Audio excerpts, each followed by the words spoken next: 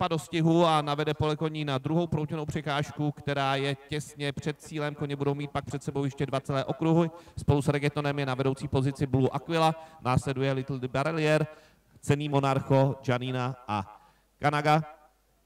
Posledními dvěma koňmi jsou Megan a Tasmánie. Takže koně mají před sebou ještě necelé dva okruhy.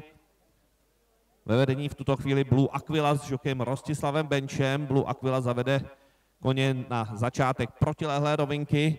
Zdá se, že v tuto chvíli se tempo mírně zvolnilo. Za tou hlavní skupinkou zaostává Tasmánie, která neúplně ideálně skočila proučenou překážku na začátku protilehlé rovinky. Blue Aquila tedy na první pozici, dále Reggaeton, Little Barrier, Janina a Cený Monarcho, následuje Kanaga a Megan. No a amatérka Tereza Polesná tuto chvíli na zemi, takže Tasmánie ztratila svoji jestkyni a dostih eh, společnosti Štec SVT dnes nedokončí. Vedoucí Blue Aquila na konci protilehlé rovinky měl možná čtyř pětidélkový náskok, ale v tuto chvíli ten náskok je zhruba dvoudélkový. Na druhé pozici Reggaeton s žokem Martinem Liškou. Následuje Little Bar Barelier, z měšku Janina, Celý Monarcho, Kanaga a Megan. Koně se po druhé v tomto dostihu představí před tribunami, mají před sebou ještě zhruba 16 metrů v čele dostihu Blue Aquila, Reggaeton, dále Janina na úrovni třetího koně, kterým je Little Barrelier. Cený Monarcho uzavírá vedoucí pětici, mírně ztrácí dvojice Kanaga a Megan. A koně půjdou do závěrečného okruhu. V čele dostihu stále Blue Aquila s žokem Rostislavem Benchem, na druhé pozici Reggaeton s žokem Martinem Liškou a třetí v tuto chvíli Janina s žokem Janem Kratochvílem. Na bariéře ještě Little Barrelier s žokem Lukášem Matuským. Začíná se nám vedoucí čtveřice hodně vyrovnávat. Koně na začátku protilehlé rovinky závěrečného okruhu.